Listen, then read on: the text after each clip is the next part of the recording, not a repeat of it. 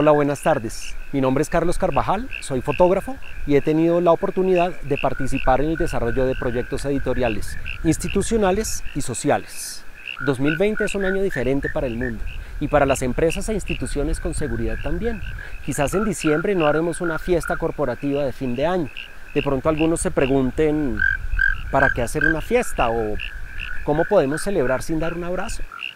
Es verdad, pero también es cierto que este año está haciendo historia. ¿Y por qué no recordarlo con un libro que rinda homenaje a los directivos, empleados y colaboradores que escribieron este año página tras página? Quien abre este libro verá una historia memorable al lado de un retrato de la gestión y de las experiencias vividas durante este año. Siempre lo supimos, este año es definitivo para nuestra profesión y para la vida.